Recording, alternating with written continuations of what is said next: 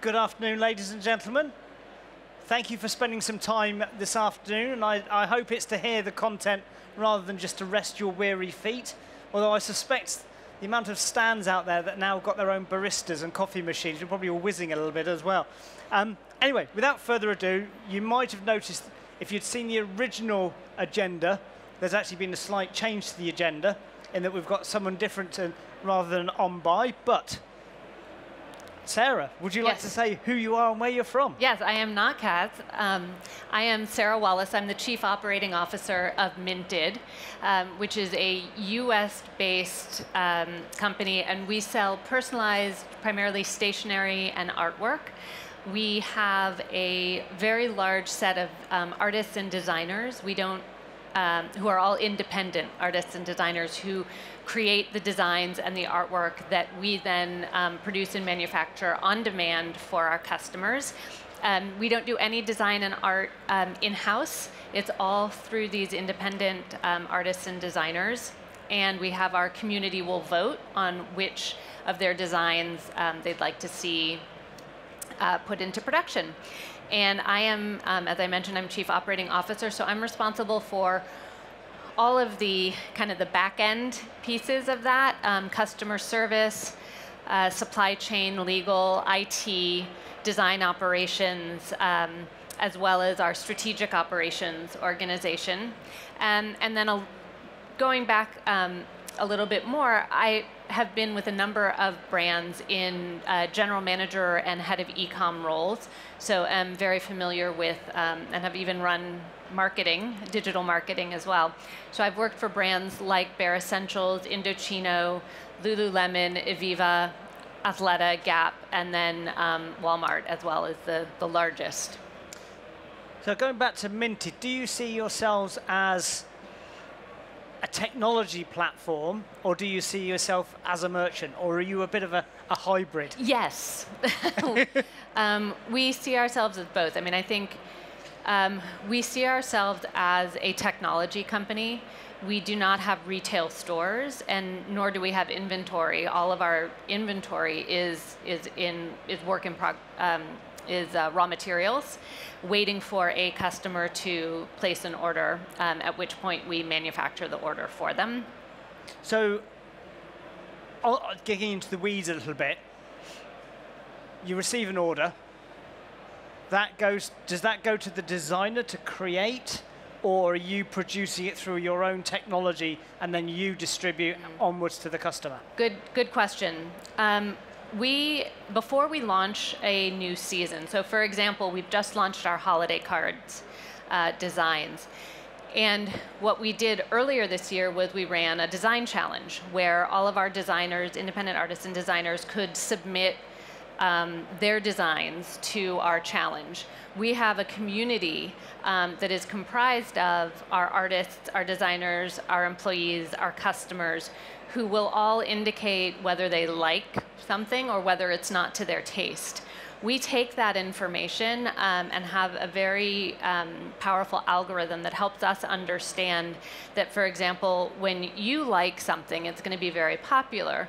When I like something, it actually means it's passe. Um, and when uh, you vote on something, it's trending, and so it's not going to be big this year, but it's going to be big in two years. So we then decide um, our merchandise assortment based on the results of, of that um, design challenge, and we create an assortment that's online. Then as a customer, you come in and you want to do your holiday card and you look at all of the hundreds of options that we have, which is the base design, the outlines, whether it's a full bleed photo or not, whether it uses foil or whether it's digital printing and you say, okay, I like that design, and you put your photography and your verbiage, you can change the text and the font. So you customize it to make it your own.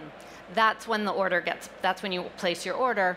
At that point, we turn it into um, a digital file, which we then send to our printer, and our printers produce it um, on demand. Going a step back to your cohort of designers, mm. is that group really flexible and you can see the algorithm says actually your choices are trending for next year. Yep. So actually, as a designer, you're not really a good fit for this year, therefore we're not going to use you? Or do you just have a huge database of designers and actually the algorithm then picks them up at the appropriate point? No, it, it would be by challenge, um, and it's up to designers to submit their um, their designs for each challenge. We do have designers who um, are watching the trends, and if they think that the reason they weren't picked up this year was because they're early, they'll submit it again for the next year's design challenge. Okay, so we've got to the nuts and bolts of what Minted is about. Yeah. Let's start talking a little bit around how you scale that. So you've started off as a relatively small idea. How do you move it forward? When we were talking earlier, we were talking about the growing pains of a business what have you been experiencing as a business? What are the challenges that you've been facing as you've been getting more and more popular? Yeah, well, I mean, this stage of company, I, I mentioned earlier, I, I, call it the awkward teenage years. Um, and I've been through it with a few different organizations. And there's a couple of things that I've seen over and over and over again as you scale a business. Um, the first one, I think, is um, putting in place processes to help with um, communication and um, make sure that there's alignment around where the organization is going and what the priorities are. A very small organization um, is wonderful because you just everybody knows what needs to be done and you think of a good idea and you just say yes great go go do it um, and everyone by osmosis has the information they need to um, to do a good job and do what needs to be done as a company grows and there are more and more folks with individual areas of responsibility, um, the blast radius of any sort of um, impact decision gets larger. And so making sure that you've communicated to the right people um, what information needs to be communicated to make those good decisions becomes a little bit more of a challenge. It's not everyone sitting in a room together knowing what needs to be known. So you, you, you stepping away from that slightly and you're going back to really that customer expectation. Because that's where the growth has come from is being able to meet those customer expectations. How do you help customers? Product discovery is one element of it but also curate the selection that is then presented towards that company. You talked about the challenges how early on does that challenge take place in your business cycle and how regularly do you do it? Yeah, well, I mean, the, the, first step is that design challenge and coming up with a good merchandise assortment. So, although we don't have in house designers, we do have in house merchants who will take the results of the design challenges and create a wonderful assortment using that algorithm as signals. Um, in terms of curation, we have a lot of things that we do to help customers find um, the style that's right for them. So the first is that, you know, very standard, we have filters. Um, so customers can choose their style, they can choose the size, they can choose um, the rounded edges or um, straight edges. But then we also have things that we've done leveraging technology. So for example, we have text us your photo. And um, if you text us your photo, we'll come up with 10 cards that we think match the color, style, et cetera, of your photo and say, hey, we think that these 10 holiday cards would be good for you. Um, the other thing that we do is we have text us your wall. So we also do art. And so um, we have art stylists who can receive a text picture of your wall and say, you know, provide back five to 10 options of art, artwork that we think would work and what size. And that can be everything from just one singular um, picture or piece of art, or you can say, here's my entire room. I want you to just decorate it. And our art stylist can pull, will pull together different sizes, things that go together, um, uh, and coordinate with one another. That sounds like a very manual process. Is there a role for AI to drop into that and start helping ease some of that load? Yeah, well, so I think the the first one, which is text us your photo, um, and we provide um, the holiday card suggestions with your picture already in situ so you can see what it would look like. That is already fully automated. Um, I do think that there are some opportunities for AI to help with um, the some of the styling and concierge and assisted services that we do. Again, I think um, you know, I, I was in a session earlier this morning and I encouraged everyone to, to understand that when you look at data, data is fundamentally backwards looking and we need humans to think about the future and to look around the corners. And I think there's something similar here with styling and AI, which is that we could certainly leverage AI to help make some suggestions, but fundamentally, taste and style um, right now also requires the overlay of a person. So we, we are looking at AI as something that can help make our people more effective and more efficient, but not replace them. So you, the design element is still very much a human interaction, almost about emotion and feeling, and we're not quite yet there with, um, with AI on that. Yeah thankfully, I think. um, how, how do you how do you see yourself competing against other players in the marketplace? Is it is it that customer retention piece? Is it around that constant evolution of the product that you're offering, or do you think that design challenge is giving you that edge? Do you think that's where you're getting some differentiation? Yeah, the, I mean, I think there's two points of differentiation we have. The first is that artist and design community.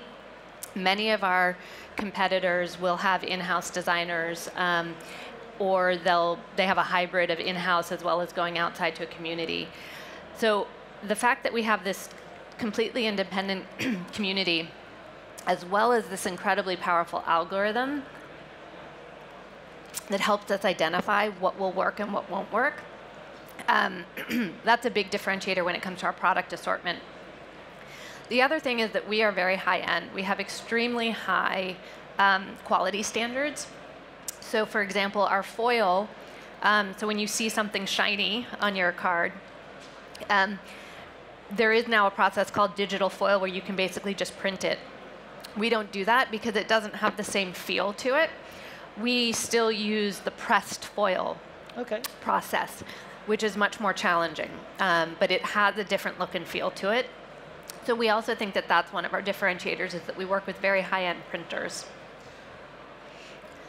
so we originally started out talking about scalability and being able to manage when you know, the, the demand goes through the roof, you weren't expecting it, how do you build on it?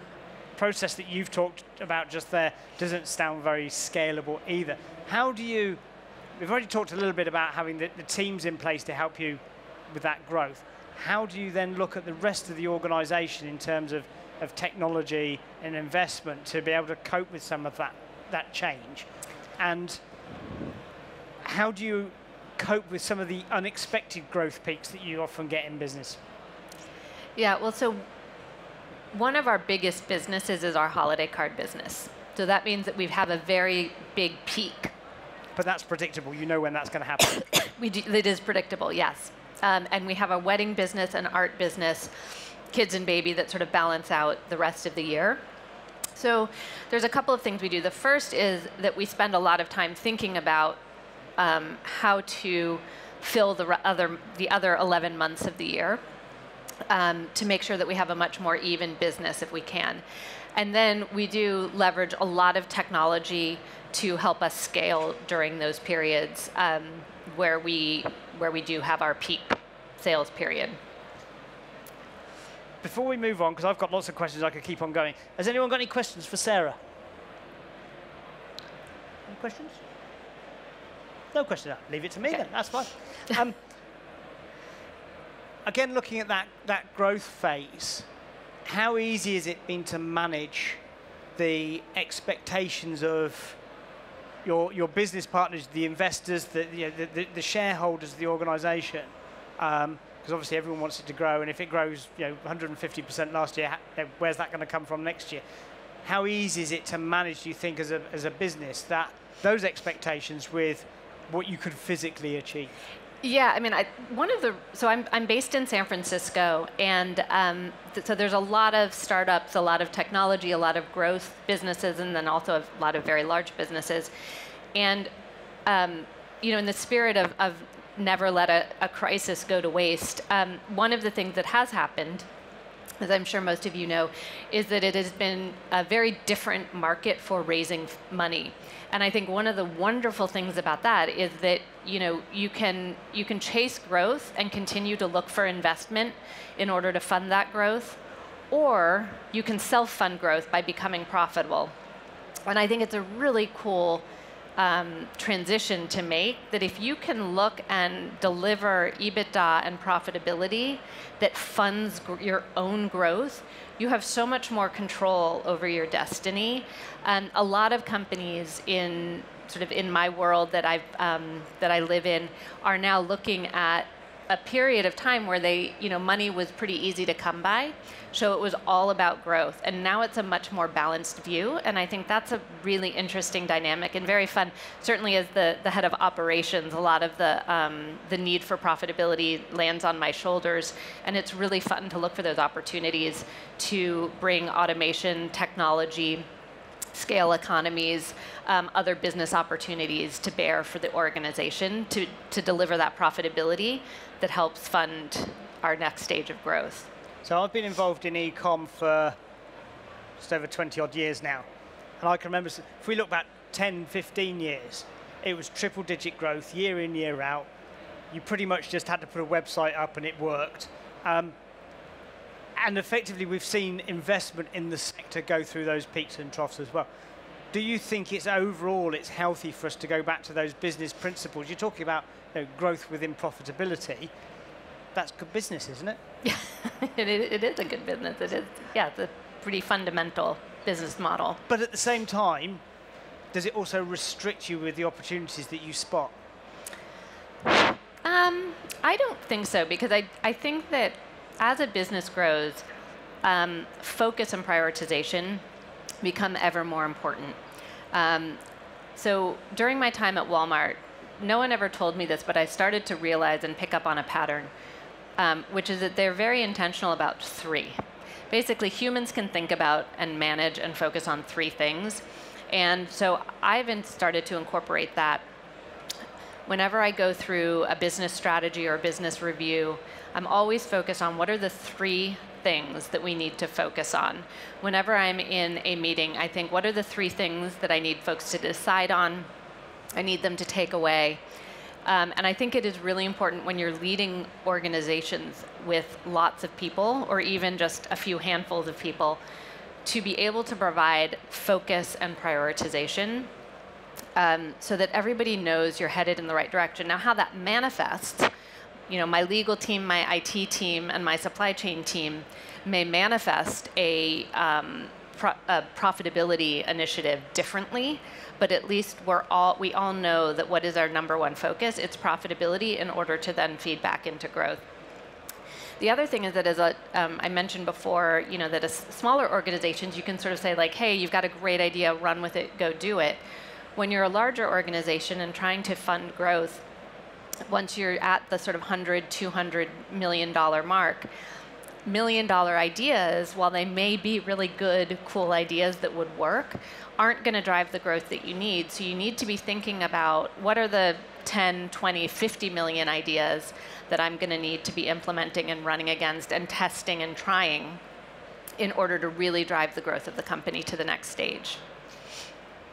Which brings us back to that profitability element and if we're wanting to be profitable, we need to think about our customers. Yeah. And it's more profitable to service an existing customer than find a new customer. So what's Minted doing to try and increase the, the, the, purchase patterns, you know, the propensity to purchase, how often they purchase. I, I don't like lifetime value for a as, as, a term, but you know, how are we trying to get more out of that relationship? Well, so from, from my vantage point, um, running operations, I've, I have a very simple mantra um, that we are all running at. Get it right the first time.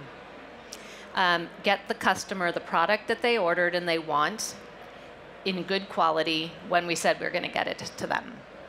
So you can see you start to sort of ratchet down, like, okay, get it right the first time, because if they have a good experience, we have phenomenal product it's all personalized. It's beautiful. It, people are proud to use minted product, to have art, minted art on their walls, to send out minted holiday cards and invitations.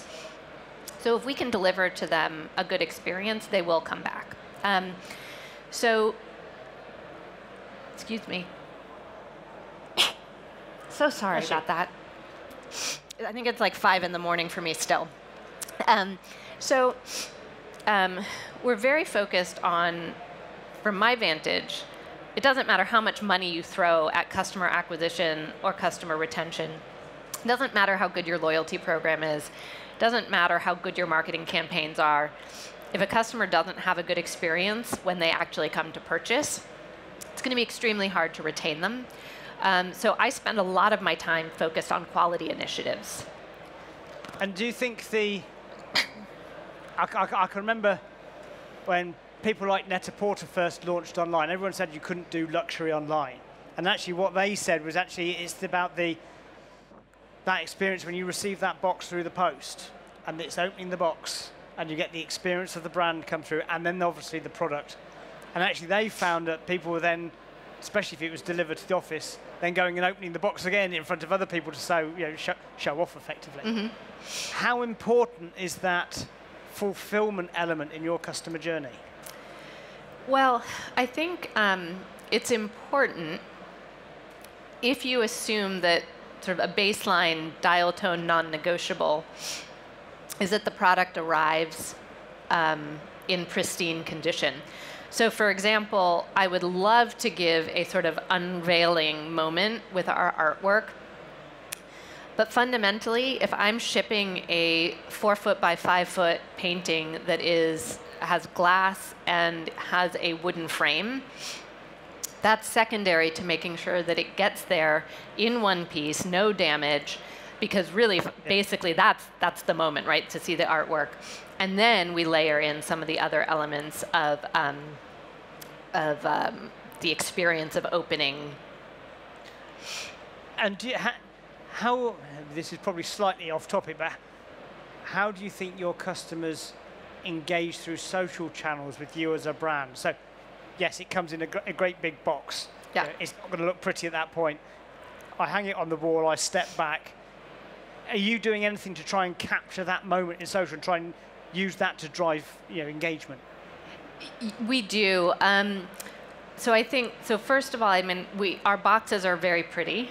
Um, so we actually don't send in just a plain corrugate um, box. We actually have it minted, so you sort of know, and you're like, oh, I'm, my minted box is here, my artwork is here. Um, and then, yeah, we do have a lot of, um, of campaigns. We work with a number of influencers um, who are design, who are getting married, who are um, designing their homes, and we capture a lot of content that we share that way. Okay and again, we're coming, bringing that back to, to like the, the technology and the scalability. Is that more bums on seats doing that sort of role, or are you trying to automate some of that process? Um, with the social media yeah. side, um, right now it's more bums in seats because we want to make sure that the content that is created and is shared is appropriate for our um, sort of higher end brand positioning. Okay. If we go back to the technology piece again, and it seems to me, I'm not involved in that side of the industry at all, but it seems to me to be fairly bespoke. Mm -hmm. How do you, again, the scalability question, you know, how scalable is it? Are there limitations? And, and then how do you restrict where your artists might take you or where those challenges might take you? Yeah, I mean, fundamentally, we have built, and this is par partly comes back to the competition side of things, which is that we've built the ability to efficiently produce these bespoke products. Um, we have the technology to automate a lot of the delivery of the files. Um, we've worked very closely with the printers to be able to efficiently um, manufacture on demand it is certainly a challenge um, during our very peak periods to scale, but throughout the rest of the year, um, it really is, is, is fairly straightforward. So what you've described so far is, you know, touched on right at the beginning, it's a technology platform, you've got some designers that are, are providing the inspiration to the customer. Do you see yourselves as a disruptor in the marketplace, or do you think you've created a new marketplace? I think both. Um, you know, when when Mariam Naficy, who is our founder, founded the company 13 years ago, it was a completely different idea. Um, this idea of sort of working exclusively with independent artists and designers. At this point now, you know, the things have caught up, and there is more ability to create bespoke um, products.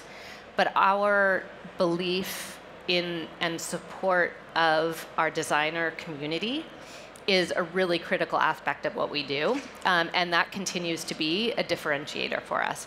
Um, we work with designers and artists throughout the world, um, and so ranging from you know parents who will do a little bit in the evening after the kids go to bed for a little bit of pocket money to um, folks who are using you know, we have a, a woman who is um, a plumber in New York, and she uses her art and design as a creative outlet for herself after work. And she's like, well, I might as well, you know, earn a little money as well. And then we also have artists who are, um, they work full time and spend all of their time. They are artists, and they are able to make a living through what they earn from Minted. So that's giving the brand some personality. So you're moving away from it being a technology yeah. brand to a personality and um, not necessarily innovation, but it's it's certainly got a life of its own to a degree because you've got lots of individuals producing producing the art. How confident are you that that pool of creativity is always going to be enough for you? Oh, I mean, there's there's no end to creativity. Um, and I, I, mean, we're always looking to bring more artists with more perspectives, um, more styles, more technical skills. Um, to continue to bring um, new designs to the forefront. And to your, your question earlier about curation and discovery, um, you know, as we get better and better, at understanding customer information, we can bring more and more designs on the site. Obviously, so when I worked at Walmart, I was leading the women's fashion world, and I had millions and millions of SKUs um, between our first party and our third party products. And so discovery was an incredibly challenging aspect. Um, at Minted, we are continuing to add more and more product. And in parallel to that, we are working more and more on understanding our customer, figuring out better and better and more effective ways of um, a more efficient discovery process um, on the site. Whether that's self led by the customer indicating what they're interested in, or us just knowing whether it's from you know where they're logged in um, as a, a, beginning indicator of what they might be interested in to the time of year. Um, you know, we know that folks get engaged around the holidays. They're looking for save the dates in January and February, um, and in for invitations a few months later for all of the spring and summer and fall weddings. Um, we know that folks who come to the site in mid-November are probably looking for holiday cards. Um, and so um, and then we can tell within one or two clicks whether we got that right or wrong and adjust their experience. Strikes me you've got two customers. You've got the one that buys the finished product, but actually you also need to find that talent pool. How do you go and find the artists to take part in that, that challenge and get involved in the, in the platform? You know, that's a, that's a really good question. We have a full artist relations team at Minted who is entirely focused on um, uh, finding new artists, developing relationships with existing artists. We actually have a loyalty program um, ish um, for our artists. It, it's actually, I, and I say ish, not the program part. It's actually highly developed, highly structured, um, but it isn't. I wouldn't really call it a loyalty program. Um, but it is a program for engagement with our artist community um, that helps deepen our relationship with them, helps make sure we understand what they need from us and how we can deliver it. We've only got a few minutes left. Has anyone got any more questions? We've, we've got a, a microphone coming your way? If you could just hold your hand up, please, and. Uh,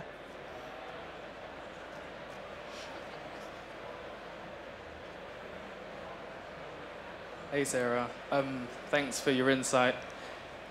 I had a question in relation to um, putting in processes. What three things, if you had to start from scratch as a brand, what three processes would you put in place to ensure that the customer journey is at its ultimate? Um, I think what th- three things do I put in place? So number one, hyper focus on putting in place a, a structure to really get to know customers and their life cycle and their with that- us. Um, we like to be with our customers during all of their um, milestone moments in their life, their wedding, the birth of a child for birth announcements, um, party invitations, personalized stationery, holiday cards where they're connecting with their loved ones. So we'd like to be a part of all of those celebrations. So really knowing our customer is a very important would be a very is a very important aspect of what we do. So I think making sure that that foundation is solid. Um, the other one is I think another thing that we spend a lot of time focused on is um, the experience of the customer before they place their order.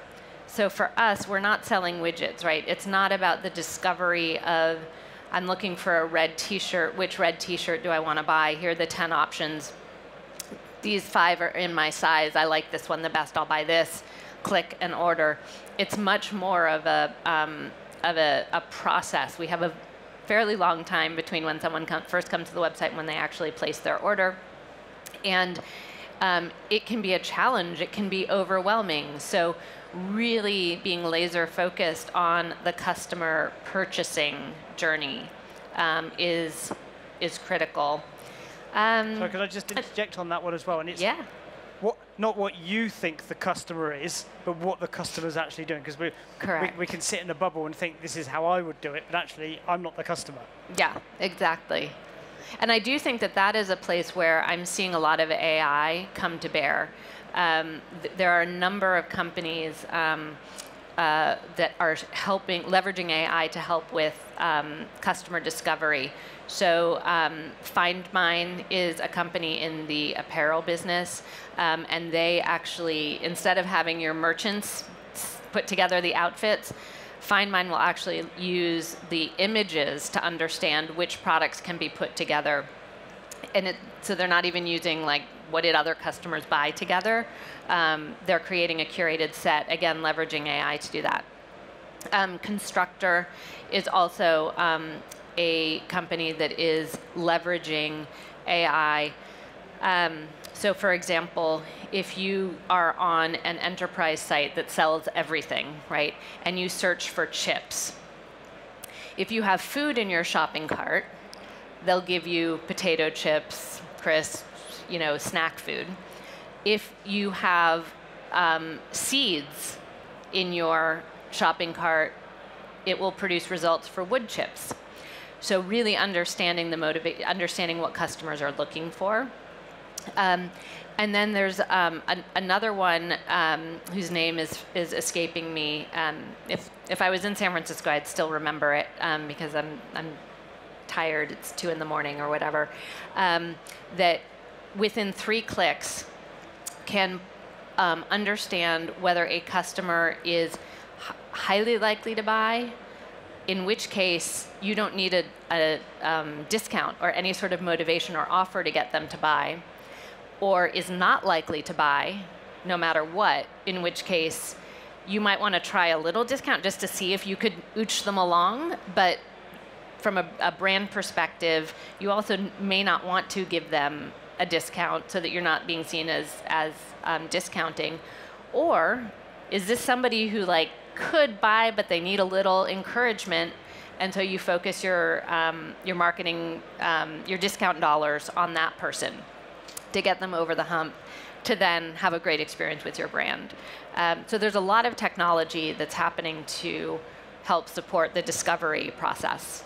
So that, the, the third point the guy was, uh, the gentleman was after then was probably understanding your customer Yeah. and putting in place the right processes to enable you to sell to them in the right way. Mm-hmm. And the, it, it, over the years, we've talked about cross-selling and upselling, and it's knowing where to do that. And it's the same with discounting. You know, are they just going to be a price-orientated customer, and therefore, is it worth having them?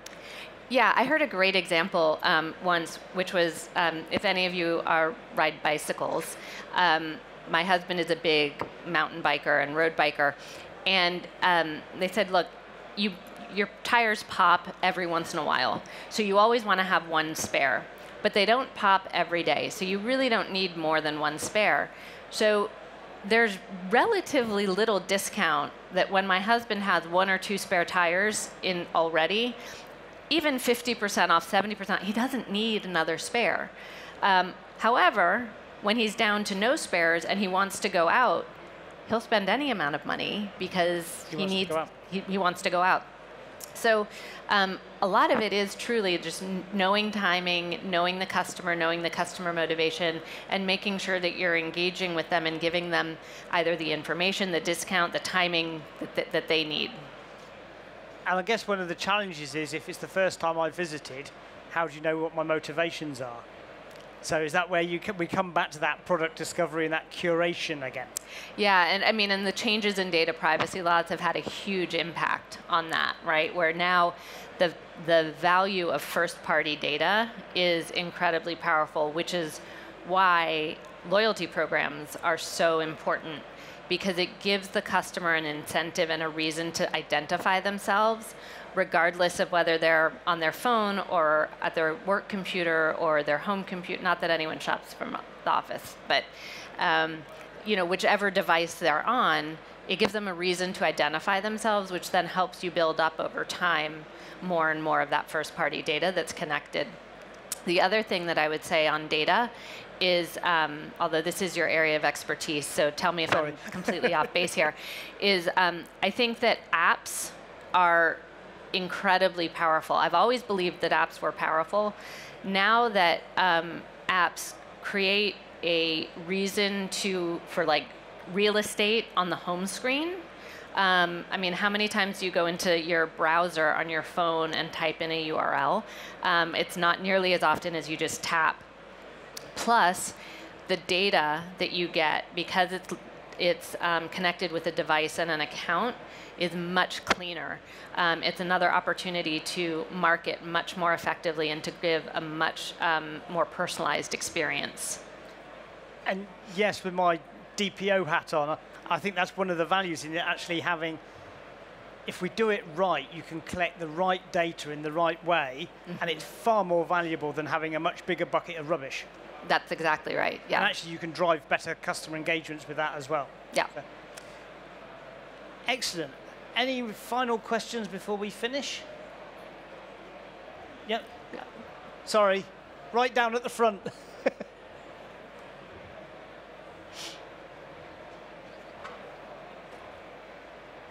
Thank you. We talked about profitability before. How much of your marketing budget goes for branding versus direct response? Um, ooh. Sorry. You're asking me about marketing attribution, which is like a two-hour session. I mean, I, we, this is a non-answer, but we really do think about it holistically. I mean, you must think about the full funnel. And, you know, only having branded search isn't going to get you what you need, even though that has the highest ROAS because a customer is much more um, qualified. If you don't have anything around awareness um, or top of the funnel, you're not going to feed that bottom of the funnel. Um, and then I think um, the other thing that I, I think a, a number enough companies don't really think about is the, that customer experience and the um, you know just how important it is to marketing to have a really good product. Another aspect of um, what Minted does, and it's very obvious to us, but I think it actually applies to more companies than you might initially imagine, is what we call virality. Um, so fundamentally, our products are then mailed out to our customers for the most part. The artwork stays on their walls, but personalized stationery, invitations, save the dates, holiday cards are all mailed out, and they have our logo on the back. And so a very high quality product, then you know you get you receive my holiday card and you turn it over and you're like, wow, this is a great holiday card. It's you know feels wonderful, it looks great, and oh, it's by Minted. Maybe I should get my holiday cards from Minted. So again, like it, it again, you know, to hammer everything to nail, I'm a chief operating officer, so I think it's very important. Um, but I, I, again, it's, it's, it, it has to be a full funnel, holistic view of the customer, their life cycle with you, and not to underestimate the power of the quality of your product. Personally, I find it refreshing that the operational side is talking so passionately about the quality of the product and the customer experience. So I certainly wouldn't knock that approach whatsoever. I think be, there's, there's lots of lots of the sessions that we're talking about over the next two days where actually these silos are one yeah. of the issues that we have. Yeah, I mean, if anyone was in my session this morning, you're gonna, you will have already heard this. But, you know, I think I always go to shows and I like to sort of come home with like, what are two or three things that I'm gonna actually do, right? And what I encouraged everyone there, it was a session on marketing, and I said, if you're a marketer, go make a date for tea or coffee or lunch with your operations partner um, and build a relationship with them because they will enable so much. And the example that I gave was we were sitting in a holiday preparation meeting and um, one of my marketing partners said, "Oh, we used to do this um, this wonderful campaign. It was incredibly powerful, but we can't do it anymore." And sort of moved on. And I said, "Well, wait. Like, we'll we'll take this offline. I don't want to interrupt you, but you know, let's ask the question, why can't you do this? And what's stopping us? And we're now working on a, putting in place a plan to enable operationally this marketing campaign that was incredibly powerful and we had to stop a couple of years ago. So, you know, just building those bridges and those relationships and understanding how it's all interconnected is, um, is very powerful.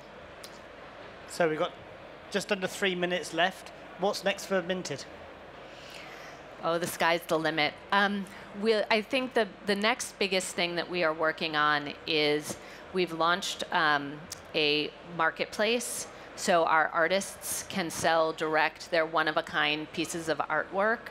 Um, and we've also launched a marketplace to help with, um, in particular, our wedding business to make some of the products that we don't make, um, but which brides want. So when I think about marketplaces, I think about you know, what's the benefit to the consumer?